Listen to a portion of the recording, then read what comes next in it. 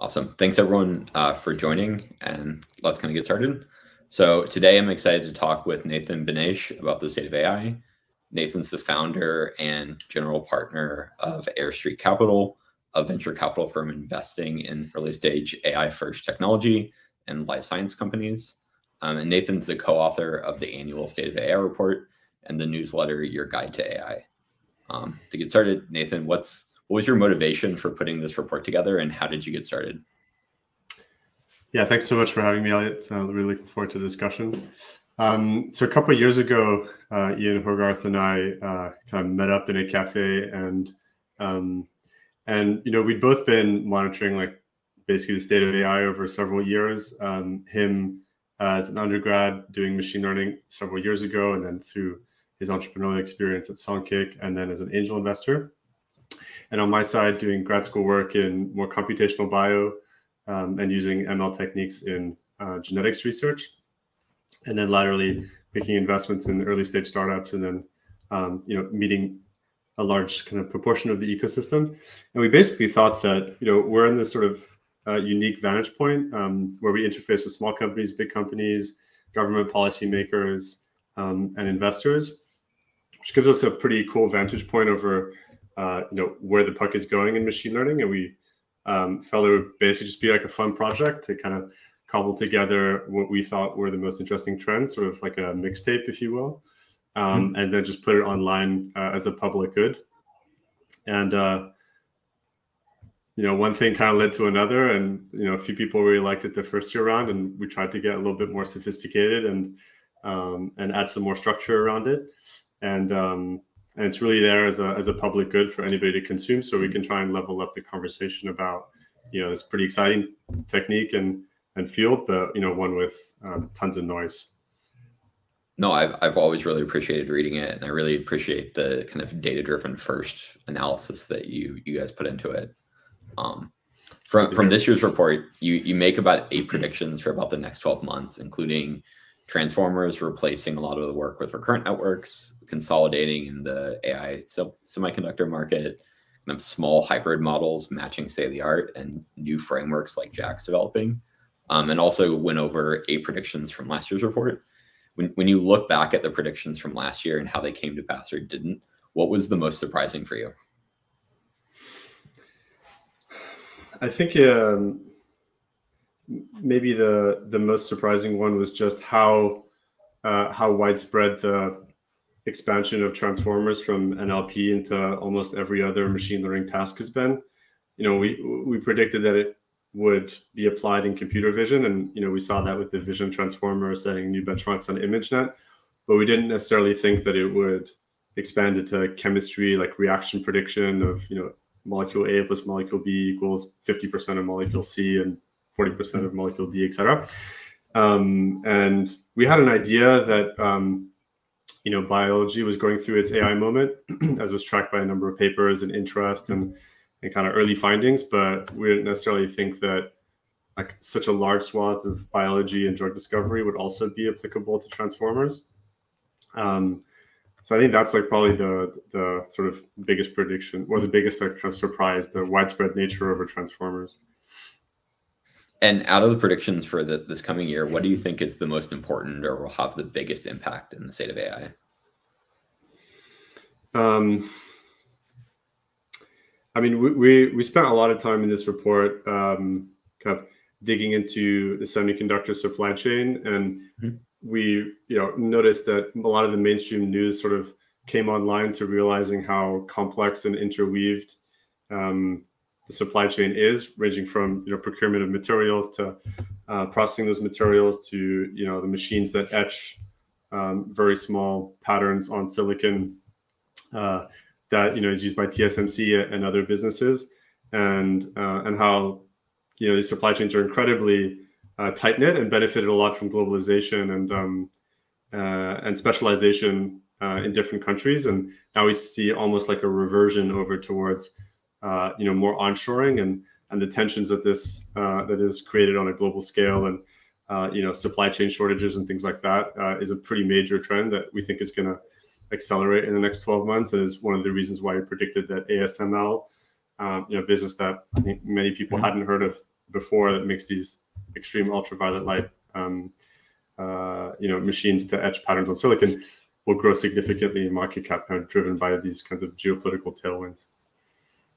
And and for I guess for you personally, which is the one that you'd be most excited about seeing come true? I mean, I'm I'm kind of a science nerd to us, so like I'm I'm really looking forward to you know even more fundamental science problems getting mm-hmm. solved um, with machine learning, and um, and we made one prediction that you know DeepMind would make another breakthrough in the physical sciences, and uh, we had like a little internal debate on our group chat as to whether mathematics is a physical science or not a physical science, but uh, there was a cool Nature paper uh, on the cover just a few weeks ago. Um, actually, a friend from grad school worked on um, where they helped mathematicians solve complex knot mm-hmm. problems. Um, so I'm kind of excited to sort of seeing machine learning go into physical sciences like space or, uh, mm-hmm. or quantum or things like this. Well, as a recovering mathematician, I'll definitely say that I, I appreciate the, the work that AI is doing there. Um, yeah. But kind of going to transformers, like you, you guys were definitely right that 2021 was the year when transformers really saw breakout success in domains outside of NLP. Can you give some examples of some of those really exciting use cases and like what areas you see it expanding into in the future? Yeah, so um, you know we mentioned the vision transformer on on ImageNet, but um, we also saw you know brand new uh, performance benchmarks on speech recognition with you know mm-hmm. the lowest word error rate um, getting hit using transformers. Um, we also highlighted uh, more work in computer vision focused around 3D point cloud classification and segmentation. Um, and, uh, and in particular, like we have a big section on on AI first approaches to biology. And the two kind of coolest mm-hmm. applications that that, that I found was uh, both involving NLP sort of transformer models, where in the first instance there was a group at Salesforce Research that made use of these same models that would be applicable to translating a sentence from one language to another or predicting the next token in a, in a sentence and using that on a large uh, body of proteins mm-hmm. and from that basically figuring out the sort of language of proteins so that you can um, basically ask the model to generate a sequence with a particular function and the coolest bit of all of that is that uh, you can get this model to generate a protein that has never existed in nature mm-hmm. and has kind of de novo properties that are of, of uh, sort of industrial uh, importance and interest and the second one is sort of relevant more towards the pandemic. And and there was a group at MIT that used again similar uh, NLP models to effectively learn um, the grammar of the spike protein on the virus mm-hmm. to figure out what kinds of mutations might occur in the spike protein that would confer a higher fitness, um, you know, as is expressed by a, uh, a virus that's more able to bind to the receptor uh, in the human body or less and then you can kind of use this or, or kind of roll forward what you might do with this kind of approach, which could include things like generating more proactively these mRNA vaccines and thinking about sort of an AI first approach towards mRNA mm-hmm. uh, vaccine design. That's definitely exciting. I, I'm personally excited about the fact that as all these problems are tackled by the same type of framework, it becomes easier and easier to do multimodal learning and, and incorporate insights from all these different input streams at the same time. Yeah, yeah, it's really remarkable, like the the transferability of these models in different domains. And we got asked this question of like, how is it that a research group at Salesforce that makes enterprise software is able to, you know, like have a big impact in a field that presumably they have of no direct mm-hmm. experience in. And and I think the fact that that's possible is sort of a, a hat tip towards the generalizability of the representations that these models are, are learning. Well, and now that they've made this jump from NLP to computer vision and kind of all these different use cases, where do you feel like they can make the biggest impact on on industry? Um, so one of the sections that uh, in the report that sort of expresses this is um, there's so many more uh, companies nowadays that are implementing these transformer models for various like natural language tasks. Um, so obviously you see like the rise of Hugging Face, but also Cohere, um, and and you know several other businesses that are productizing these large language models mm-hmm. through APIs. Um, I think there, you know, the surface area of domain applications, everything from you know legal contract review to next word predictions, or like a better Grammarly, um, to you know translation of documents, etc. So I think it's just about making like all those applications that were pretty good, like good enough that now customers are willing mm-hmm. to pay for them and depend on them. Um, and perhaps going into you know even more kind of vertical domains like you know understanding um, you know medical records and hmm. um, and you know understanding kind of minutiae of of uh, of, uh, of basically like legalese that is not necessarily present on Wikipedia. Um, I think it's going to be quite a bit of mm-hmm. um, of work going on there too. Yeah. So so breaking away from transformers is as exciting as they are, like a lot of a lot has been made of the advances in like unsupervised learning and the enterprise value always seems to be just around the corner. And some yeah. of the exciting cases are things like data discovery and bootstrapping for transfer learning and things like that. Where do you where do different forms of learning play a role in industry? Should every team start with weak learning, or should it be a, a bit more nuanced than that? Yeah, I think the general advice is like start with the simplest approach possible. Mm-hmm to just even figure out whether like the task you're trying to solve is like machine learnable. Um, I think there's this you know challenge where academia is publishing amazing state of the art results with like super sexy models, and then you have this dichotomy of what the reality is in industry, and um, to some degree, you know which models actually make commercial sense to run mm-hmm. and maintain, etc. So always start with the simplest, and then um, and then I think that like starting with something simple helps you really understand the domain and the problem that you're working on so that you can understand like which areas might you go into next. Is it, you know, more complex architectures? Is it better data? Is it maybe an ensemble of models um, that can eke out the performance you need to solve whatever business problem you have? Um, so that's usually kind of what I what I think about.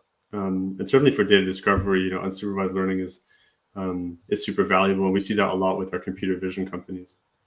Mm.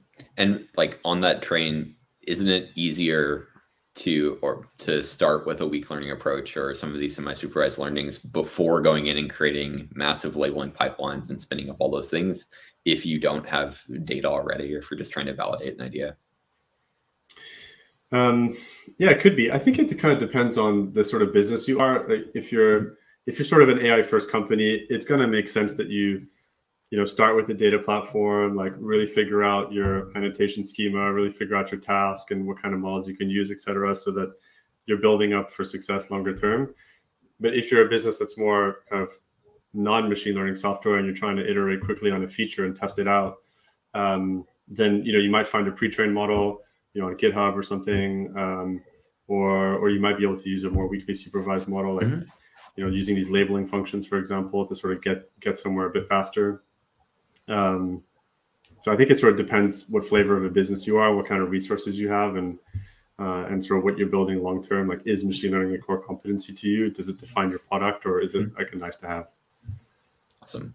So in your report, you state that with increasing power and availability of models, gains from model improvements have become kind of marginal. And in this context, the ML community, community is increasingly aware of the importance of better data and more generally better ML ops to build reliable products. Yeah. Uh, where what do you see as the place of ML top ML ops tooling that's valuable and like what should people be thinking about there? Yeah, I mean, there's um, as you mentioned, there's like a real resurgence in interest and focus on data being a differentiator as opposed to models. Um, I think that's one of the, also the main differences between academia and um, and industry, and it's um, you know a function of issues like models not being great when there's data drift, uh, issues of potentially bias like creeping in, um, and uh, and so that's that's ultimately like driving people to focus to okay, like how am I collecting, how am I annotating data, and do I have um, proper checks and balances in place to to make sure that my models are learning something useful. And as my customer behavior changes, or I onboard new kinds of customers, then my models are like robust to those sorts of changes. Um, and so I think like the, the cool thing I've seen certainly in the investing landscape is whereas a couple years ago, call it like 2015, the sort of early generation of deep learning businesses that uh, that started, you know, there was no SaaS offering for a labeling platform, and so these companies had to sort of hack something together with internal resource. Um, and then over time, as you know, some of those businesses became bigger and like had real ARR generating um, products, then um, sort of realize like resources scarce and it doesn't necessarily make sense to build and manage these internal mm-hmm. tools anymore. And then you know, as more and more vision companies came into the market, they then created, uh, you know, they amplified that pain basically to the point that some engineers were like, well, maybe we can build a SaaS product for this. So I think it's a um, the fact that now data platforms have emerged as as a SaaS offering and are sort of no longer considered to be a competitive advantage, but almost like a table stakes to be competitive, um, mm-hmm. is a sign of the maturity of these companies and of the market in general. Uh, and so now it's sort of like almost becomes a de facto choice about okay, I'm going to start a vision company. Like I need to buy a data platform. Which one am I going to buy? And it sort of depends on what your use case is and you know certain developer preferences, etc. Yeah. So so following on from that, like Chris Ré group really launched a data centric AI repo on GitHub to aggregate resources. Andrew Deep Learning AI, is organizing a, a data centric AI competition um, where people are asked, given a fixed model, to, to modify the data to get the best performance and and you can even see it extending to this year's NeurIPS conference going on right now, where we have multiple different venues for people to highlight their work only on the data sets and, and the data centric AI. Are, are those viewpoints um, on data first modeling just an academic angle, or is this being becoming pervasive in industry as well? I think it's it's certainly being pervasive in, in industry, and I think certainly Chris Ré's group is is one of the like extremely industrial focused labs where they really mm-hmm. take problems that exist in the real world and do research on on that. Um, so he's extremely pragmatic in that regard, and you know Andrew Ng is probably somewhat similar. Mm-hmm. So um, so I think I think this trend is certainly here to stay. Uh, I think it's just a question of like what we call this. Uh, uh, you know, these kind of monikers are changing all the time, and is it a data mm-hmm. platform? Is it data centric? Is it model centric? We, we don't really know yet, but the trend is is definitely here to stay. Um, and in the report, we profile a few kind of trends in that regard, like mm-hmm. uh, active benchmarking, uh, to make sure that you know, like basically models can see more real world scenarios, uh, mm-hmm. and where those benchmarks are constantly updated by human users. Um, also, data sets that kind of tackle distribution shifts, as we kind of mm-hmm. discussed, mm-hmm. and, and kind of finally this notion of under uh, under specification um, which is also another kind of problem that manifests in, uh, in, in industry, where basically data set, where basically models can perform slightly differently depending on how you initialize them, which is like mm-hmm. slightly scary. Um, So yeah. Do, do you feel like this approach will pay more dividends for for academia or, or for industry in, in I guess different way? Do you think this will help kind of close the gap that we've seen between how ML works in, in industry and academia? Yeah, I think um, I think it's going to create like a faster sort of on ramp between folks who graduate from academia and then want mm-hmm. to go into industry and how quickly can they become effective. Um, because we're sort of teaching industrial relevant principles uh, in the academic setting, and I also think like it's it's largely uh, kind of overdue in a way because you know whereas in you know you guys at scale like you generate all these amazing high quality data sets and you know a lot of people in academia are still like working on KITTI data sets that are like incredibly pixelated and you know generated i don't know how many years ago. And so i think there's there's like this kind of interplay between you know bigger companies and startups that can generate high quality data sets and then we can all agree that you know data centric um, ai is the right way to go. And then there can be a lot of cross pollination of these data sets so that you know academics when they're trained and future engineers when they're trained are kind of working on the same subject on the same substance um, and have more like industrial relevant um, skill sets. So, uh, kind of going to some of the stuff you were talking about earlier on this, the semiconductors and why it's so important. Like 2021 was really the year of novel AI semiconductors and supply chain chaos. Also, we're seeing governments across the world turn their attention and, and money towards the semiconductor production problem. Um, historically, once a business or region has kind of lost its lead, it's almost impossible to catch up. And the U.S kind of transferred a lot of that knowledge and, and industry to Japan more than 30 years ago with, with mm. memory and things like that. How realistic is it for the AI industry to move away from like a single highly influ- highly influential region for production? I think that's like a trillion dollar question, um, literally based on like the investments that you know mm-hmm. big companies are making. And uh, we, we looked at again like the kind of concentration in this industry, and in particular like some reports that looked at how expensive it would be to replicate uh, mm-hmm. like the value chain uh, in Europe and in the United States. And it was something like you know despite uh, you, you know the U.S. and Europe kind of earmarking 200 billion to sort of you know onshore back uh, semiconductor capabilities, achieving sovereignty over the whole value chain would cost over a trillion dollars, mm-hmm. and so that's almost um, six times the combined R&D investment and capital expenditure of the entire semiconductor value chain in 2019. Mm-hmm. Um, so it's it's it's an incredibly uphill, steep uphill battle. Um, in a way, though, it's you know if you're a policymaker, it's almost something that you you have to you have to do. I think. Mm-hmm. Um, uh, just based on the way like, geopolitics is working out, but I think it's about maybe being tactical over uh, what parts of the value chain are you actually going to try and mm-hmm. onshore because you know things like minerals are maybe a lot more difficult for certain countries to onshore because they just physically don't exist mm-hmm. in their country. But you know, capability capabilities like lithography, maybe not for the super leading edge, you know, minuscule nanometer processes, but for the more kind of run of the mill chips that you get in cars and things like this, we can uh, have a better shot of having domestic domestic players. Um, and and and does it feel like those kind of really core steps in the value chain are, are possible for people to bring up? Are we seeing investment being made in those areas? There's a, there's a lot of commitments getting getting mm-hmm. made, and then certain domestic players that uh, like in Germany um, that are uh, that are kind of stepping up to the plate and saying, you know, we're going to build we're going to build capability. I mean, of course, like Intel has been making a lot of mm-hmm. um, you know positive um, signals and commitments in that regard, but I think it's just this industry just takes a lot of time to spin up and um, and, a, and, a, ton of highly competent individuals, of which there are not very many. Mm-hmm. Um, so I'm I'm like very very very cautiously optimistic that we can actually make a real dent in this um, if we focus on the like the leading edge processes and mm-hmm. and more bullish on the uh, less leading edge processes, which you know don't require kind of TSMC level expertise to mm-hmm. to um, to affect and and how has the recent kind of uncertainty in the silicon market affected companies with respect to like their AI investments and what bets they're choosing to place? Um,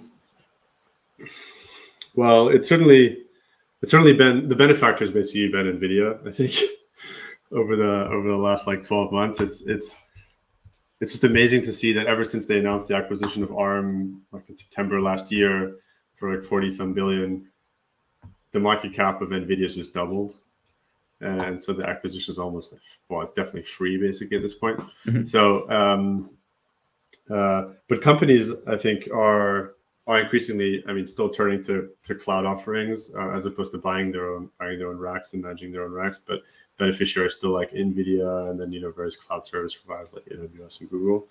Um, and then of course on the gov side and kind of research side it's where you know more of the specialized semiconductor companies have have made some headway. Um, yeah. Awesome. Um, so like autonomous driving and recommendation systems are some of the most pervasive and arguably some of the most effective forms of AI right now.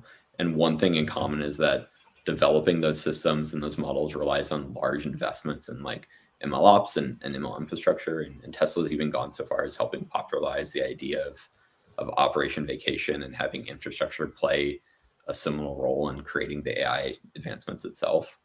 Um, for, for people that want to start working with those ideas, like what's the order of investments that they should think about? What should they do now versus what's important to think about more later on? Yeah. Um, so I generally think no, number one is sort of like problem scoping and problem framing so that you understand like what task you're trying to solve like what does good look like mm-hmm. what does bad look like is there a good way of of, uh, of expressing this number two i would say then it's uh, basically data collection and annotation as we as we kind of discussed and you know trying to pull from best in class models that are publicly available. Um, then if it looks like there's some success there then i think investing more in data platform model training and evaluation. And then once like the business case is even proven there, then I think you can start moving towards the monitoring and observability um, uh, kind of problem set, really, mm-hmm. uh, which is bubbling a lot, and lots of venture funding is going into this direction. Um, but I think the companies that really feel the pain are ones that have large scale deployments um, in potentially, you know, high stakes environments and where like the pain of mistakes is either felt by customers being unhappy or the business jeopardizing certain revenue uh, opportunities. I think like investing observability before you have a product in the market or before you have large scale is like probably not the best use of money, at least in my opinion. And and how customizes MLOps infrastructure to the specific problem that people are trying to take on? It's a good question. Uh, it's I don't I don't envy like engineering leaders kind of making um, mm-hmm. design decisions and infrastructure decisions nowadays because the number of new companies and solutions and open source that come onto the market uh, every like six months or something is is beyond uh, beyond what you'd want uh, if you're mm-hmm. making a long term decision and you want like stable foundations, almost like you're building a house on sand. Um, so it's uh I don't know. I guess it's hard. it's like my uh, my kind of sense. And and the other kind of uh, interesting thing that comes out of that is then you know more companies are opting towards uh, modular solutions in my mm-hmm. experience what I've seen versus like fully end to end solutions, just so that they can you know best take advantage of um, mm-hmm. of new components that come online or open source tools that come online or just like internal tools that they'd rather patch up mm-hmm. um, instead of making that you know huge commitment of we're going to build everything on this platform and it might not be the best for certain parts. Yeah, modularity and like API driven first is, is definitely yeah. some good properties. Like, what are, in your opinion, some of the the other properties that are really valuable to have in an MLOps platform? Um, yeah, portability, being able to run in, in various cloud environments. Mm-hmm. Um, um, I think the other the other thing that would be that would be good is that it's not just a tool that engineers can use, but that you know data analysts can use who are less technical, product managers can use. So because they're on the other end of the of the value chain, because um, that really because it's like the platform has to basically uh, reflect the multidisciplinary nature of teams that build and deliver uh, you know quality ML products. Mm-hmm. Uh, it's, it's like probably even more diverse than regular so, uh, software products. Um, and so having different team members that can come into the platform and then figure out um, how things are working, why things are working, and how mm-hmm. they can all, um, you know, opine and improve the system is of value. So, um, for for an ML engineer who who doesn't necessarily see why it's valuable for like their project manager or, or, some of the executives to be able to come in and understand and work in the platform, like what would you say to them? What what's what's the reason why they should they should value that? Well, because I, I think if um, if if you as an individual are kind of you know working in a team, you all want to row in the in the same direction, and you mm-hmm. want to understand what is the overall goal that you're all trying to achieve, and and having like the same communication language is very important. Um, and so if there's silos around, you know, a non-technical person who uh, is responsible for you know handling customer, if mm-hmm. if that individual is not capable of interfacing with you as an engineer because you don't speak the same language and you can't like dig into the tool and try and mm-hmm. figure out how you might integrate customer feedback into a way the engineer understands, then you're not really rowing in the same direction. You're just going to be like less effective as a team. That would be like mm-hmm. the intuitive thing I would say. Um, yeah, one thing I found is that it a lot of times if you're if you're teaching the product managers and the people that are working with you like how to use these tools, a lot of the like smaller requests, a lot of the things that that might disrupt your time or, or take away from the things you're trying to do, they can effectively self-serve and it can actually create people that understand what you're trying to do a lot better. Yeah, this is true. I mean, an example uh, I saw recently is in the data quality space. Mm-hmm. Um, is you know somebody who works on the product side or with customers that's taking the output of some model um, and then using it to make a business decision or like serving a customer is going to have a very good sense over like is there something wonky with this data and um, they need to be able to communicate that to you know the edge team that is responsible for handling the data at the source and mm-hmm. doing whatever transformations with it training a model etc um, because that that individual on the edge side might not see the customer side and and so like working on it as a multidisciplinary team means that um, again like you can get right into what the problem is and mm-hmm. and fix it in a way that you're not trying to kind of throw stuff over the fence. Yep. And what do you see as the role of AI itself within someone's MLOps platform? like how could you use ML within an MLOps platform? Mm-hmm. Yeah, or, or well, is, that, like, is that a place you should? Yeah, yeah, yeah. Um, I think yeah, like yes, to some degree, and I'd probably cite the data quality example again, um, because in a way, you only want high quality data in your data platform that's being used to train mm-hmm. models, and so you can already think about filtering for example, in AVs, like the I don't know how much data these cars generate, but like way too much to even store over mm-hmm. a decent amount of time. And so filtering through that data and figuring out like what should I keep, what should I throw away. That's a perfect machine learning problem. Um, mm-hmm. And then um, and then like trying to figure out what additional data point might I need, might I need um, based on the performance of the system that I have in production uh, in order to improve you know performance on that particular class label uh, it's also a machine learning problem. So I think in that sense, like focusing on some of the um, rate limiting steps mm-hmm. uh, is a value. And then I think the the second bit is actually in the annotation flow itself. I mean, you can think about it as you know interplay between you know some human experts. Maybe a model can do a model-based annotation at the start, and then a mm-hmm. human corrects it. Maybe there are other you know people or models that you might want to uh, you know, pass data through, like you know, first OCR it and then and then read the text and etc. So I think uh, focusing on the the modular nature of these labeling flows mm-hmm. and where can you inject a model instead of a person is another way um, that machine learning can can be useful in, in a lab platform. Yeah, it sounds like the idea behind like amplifying humans, like using ML to to take something that humans are doing and make it have a significantly larger impact is is really powerful. Yeah, exactly. I mean, you know, for example, just focusing on where is there something interesting in a in an mm-hmm. image, like instead of having a human like spend time parsing through that, you can have a model parse through that, or basic object mm-hmm. recognition, segmentation, etc. Okay. Um, so like data deserts is a, is a topic that comes up a lot in, in biomedical AI research and is yeah. likely a cause of a lot of bias when used when these models are used in clinical settings.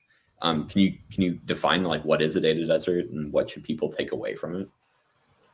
Yeah. Um, so basically, a, a, data desert it reflects a situation where um, your model is being trained on a data set that just does not represent the entirety of the of like, for example, the population uh, uh, that you want your model to serve. Mm-hmm. So, best example is maybe uh, you know biomedical data about uh, you know patients who have uh, cancer, for example. Um, if you're trying to build a system that can work across the entire United States, but your data set is only representative of people from California and people who live in New York, then you're missing like the vast majority of the US population. And therefore you're training your model on a too small subset and therefore it's mm-hmm. called a desert. And, uh, and, and this notion is becoming um, uh, more and more prescient because mm-hmm. now we're starting to see uh, like a bunch of companies develop, you know, imaging processing um, technologies and you know, applying to the FDA for FDA clearance and then applying for Medicare for reimbursement. Mm-hmm. And um, if we want to scale the impact of these models across different jurisdictions, like, stuff's really important. Um, and so to illustrate it, there was a, a study out of Stanford that looked at 56 different papers published over a kind of five-year window from 15 to 2019 that made use of a deep learning algorithm um, uh, to basically distinguish, uh, uh, you know, one of several um, several elements in an image. And what they found was in these studies, 71% of them used the patient cohort from only one of three states, and 34 states didn't contribute any data. Mm-hmm. Um, that's like one example. And then there's another example which looked more at like gene expression data sets. And they found, you know, significant lack of certain ethnicities and certain, uh, you know, overrepresentation of sex or, or age. Mm-hmm. Um, and then that obviously causes problems because it's huge human human diversity that these models are not um, are not trained to to process and, and learn from. So how, how can people identify if the problem that they're trying to tackle is is part of a data desert or not?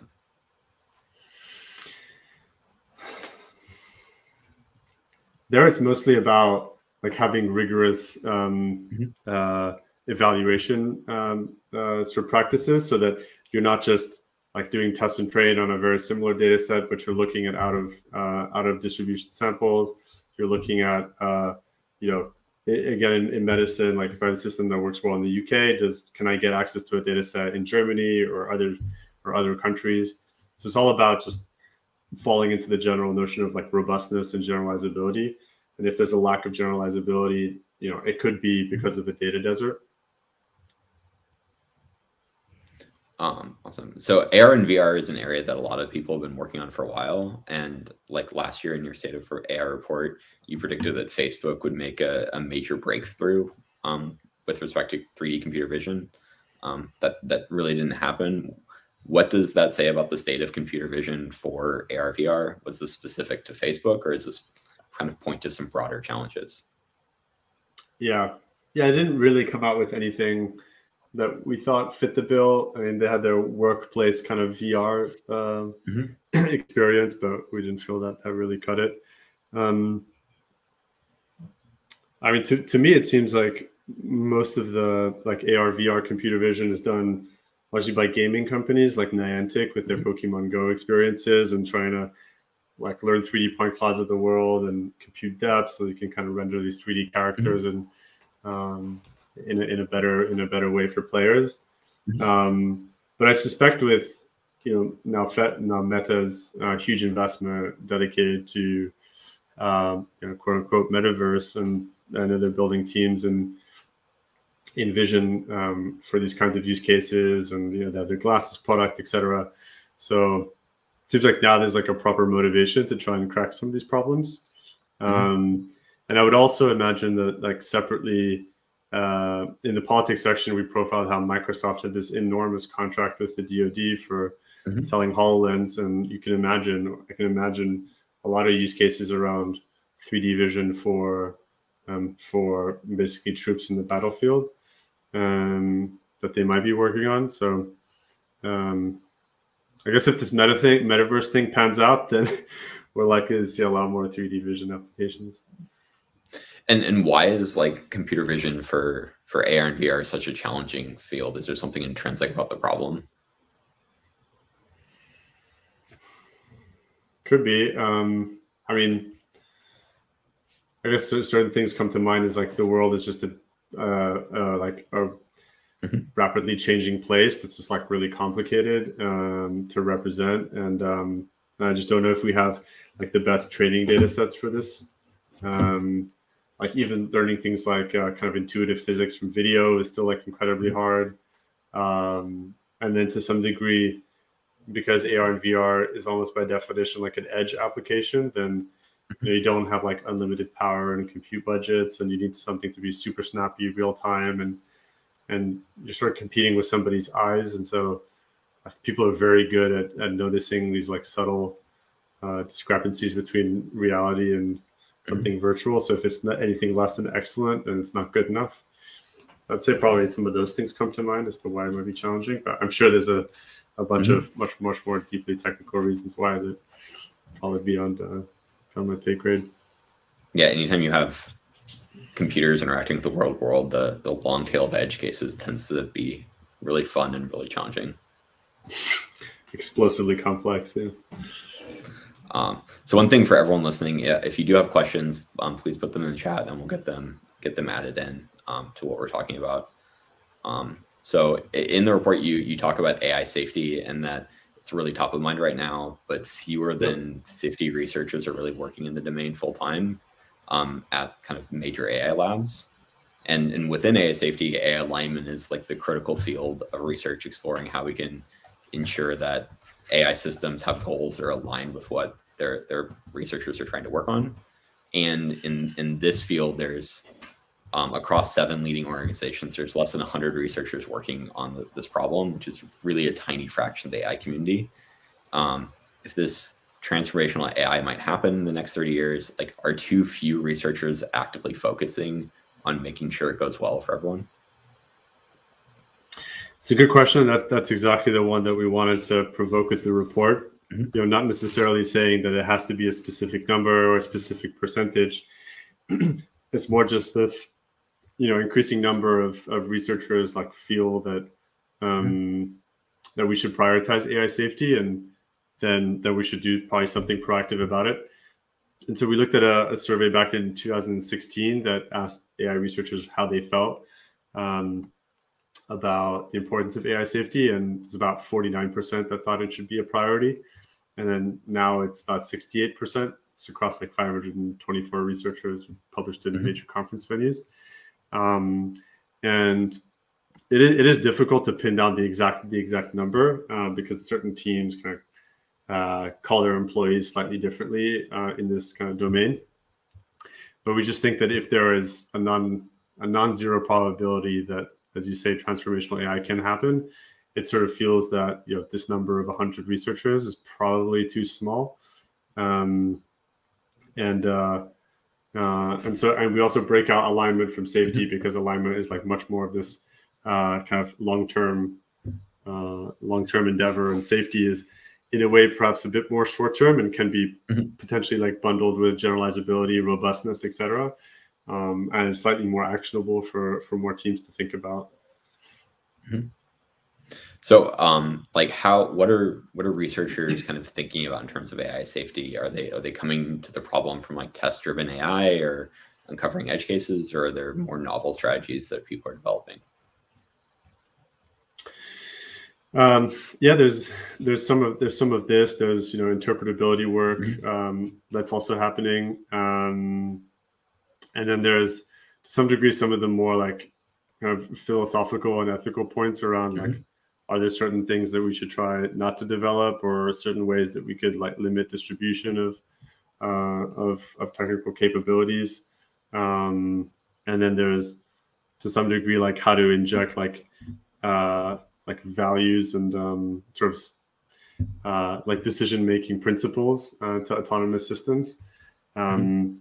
But but yeah, like what's kind of fascinating with this degree with this discipline is that it touches you know philosophy, ethics, uh, mm-hmm. law, uh, machine learning, math, policy, etc. So it's a it's a, it's a real potpourri of challenging domains that has to come together mm-hmm. to figure out like what is what is pragmatic and what is um what can be like actionable by by the rest of the community.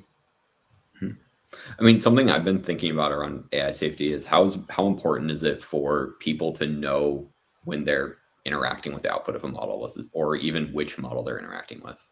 Yeah, yeah.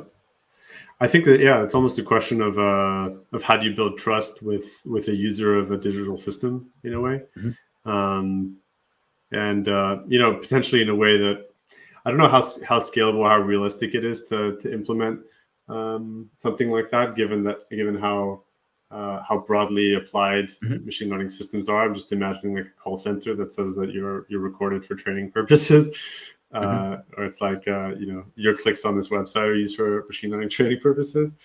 Um, but in, in, a way, like for sensitive domains, probably over communication or being transparent just builds more trust than um, you know users figuring out through the back door that something's happening that they didn't expect.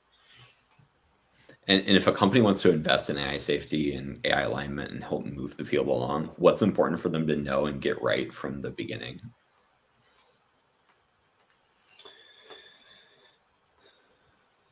I think to some degree, uh, because it's such a long-term uh, mm-hmm. discipline or a long-term kind of trajectory, I think having having those kinds of teams not be on like commercial deadlines and not be under like commercial pressure uh, really engaging with with this community because it is very very small and tight knit um, mm-hmm.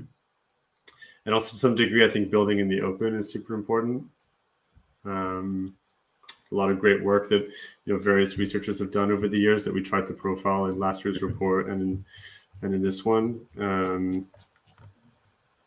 Awesome. Yeah.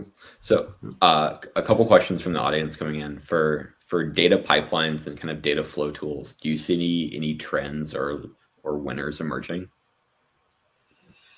Mm, I don't have a super good answer on that, to be honest. Um, yeah, I don't pass. So, so nothing at this time.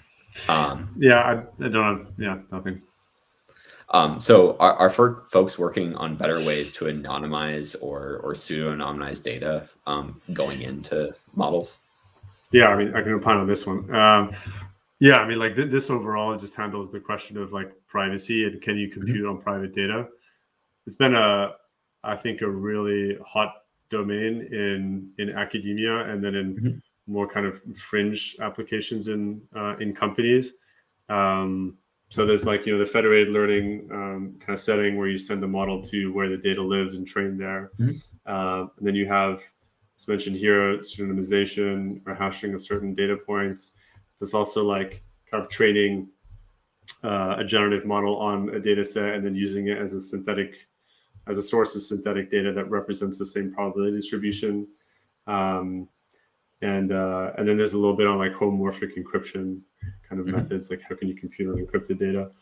I think over overall, all these are like extremely exciting techniques that I think are still pretty nascent with like what industry problems are they relevant for. Mm-hmm. Um, the the two that kind of pop out is one ad tech, like in a post cookie world. How do you mm-hmm how do you serve like relevant ads to people that you can't track all over the place? And uh, and there, there's been some pretty cool work um, through Chrome and Brave running mm-hmm. FL in the browser. Um, and uh, and then the second kind of domain is on life sciences and how can you how can you share patient data across uh, across mm-hmm. uh, boundaries? Um, and there's been some cool work from OpenMined and uh, and a few academic centers trying to uh, build a federated um, radiology uh, software solution. Um, because in theory, like medical systems would be amazing if we managed to, you know, like assimilate or aggregate data from a physician in the U.S. and a physician in Europe. Like that, that would be like a super physician. And so, mm-hmm. um, so it seems like FL is like a good way to to get to get there. Mm-hmm. Um, I'd say like still still fairly early days. Like uh, industry wise.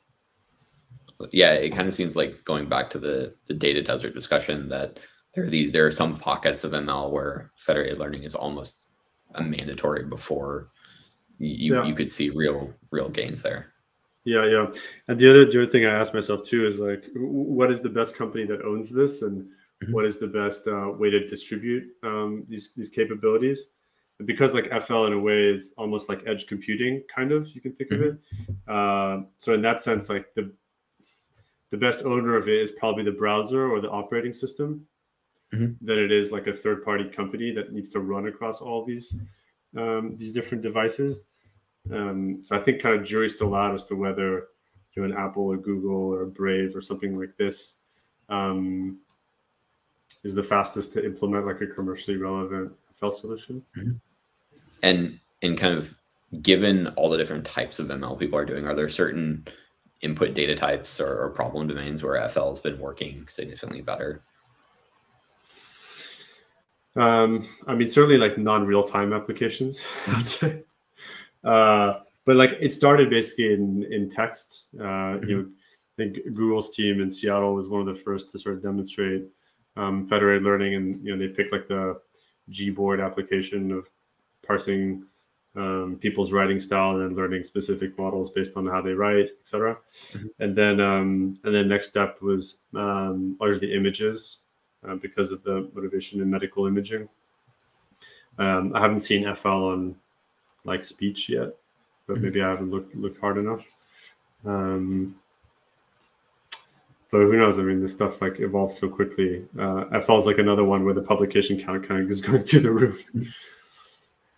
Um, and I guess is there any library or, or FL framework that you've been following or, or seeing people really latch onto? I would say OpenMined probably is the most popular um, privacy preserving ML ecosystem. Awesome. Yeah. So uh, with, with the the bit of time we have left, um, if you were going to impress like one big takeaway um, for everyone to spend time focusing on and reading about and working with, like what would what would that be? I mean, my pet favorite would be like, uh, yeah, machine learning and biology.